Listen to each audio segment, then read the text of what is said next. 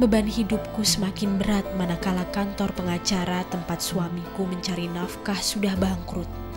Terpaksa kami berjualan kecil-kecilan di rumah untuk makan. Kutabahkan hatiku. Kuterima Doni dengan tangisan duka.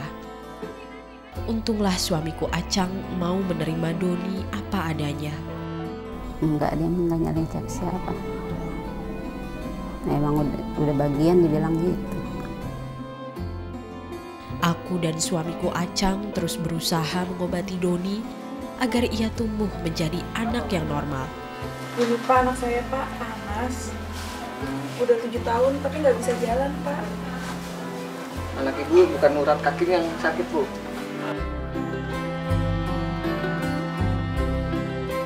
Udah lama ini? Udah pak, dari lahir. Ini nggak bisa diurut tuh.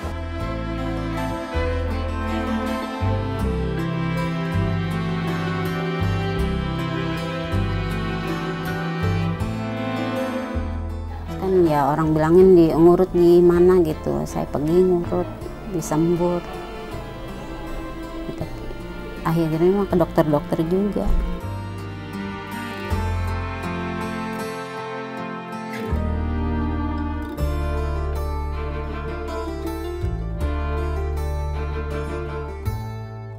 Saat usia Doni tujuh tahun, terjadi suatu perkembangan yang luar biasa pada anakku.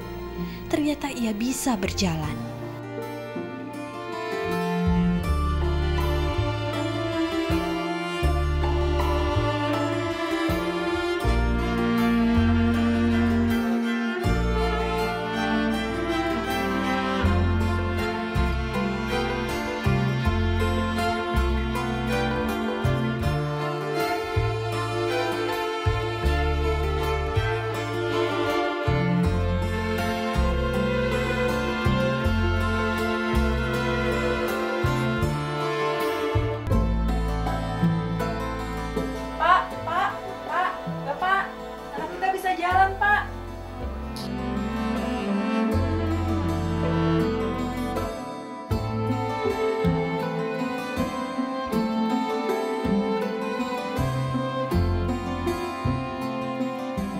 Sekarang dia kan pas bisa berdiri langsung jalan, malam tuh tiga tindakan, lang- paginya langsung jalan.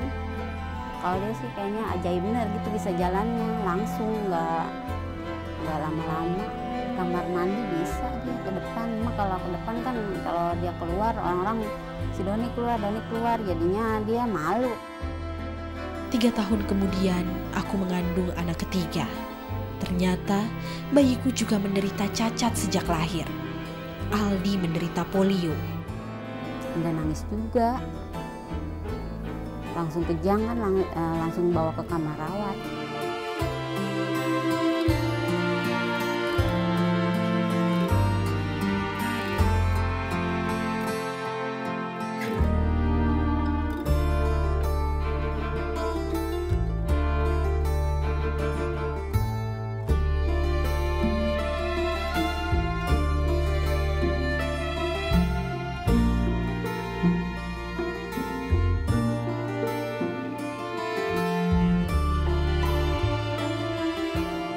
Ya udah inget yang si Doni aja udah sama Doni kali saya kan gitu sama bapaknya ya kata dia gini mudah-mudahan jangan katanya gitu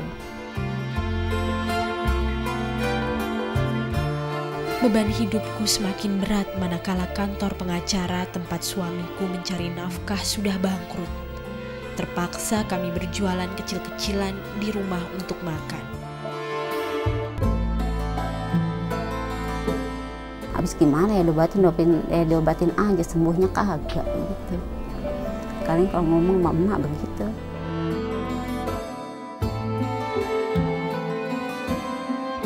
Sedangkan Aldi, kami tak punya biaya untuk mengobatinya.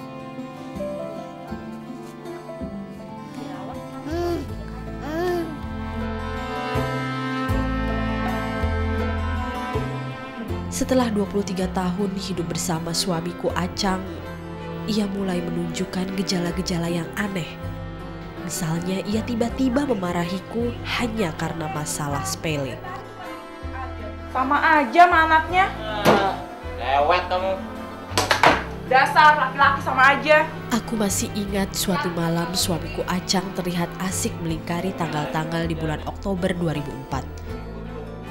Ketika aku bertanya mengapa, ia diam saja dan segera berlalu.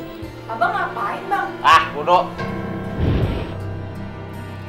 16 Oktober 2004. Itulah tanggal yang terlingkar oleh Acang. Hari itu, di pagi yang cerah itu, Acang pamit untuk bekerja. Kupandangi ia berjalan menjauh. Hatiku terasa sedih melihatnya.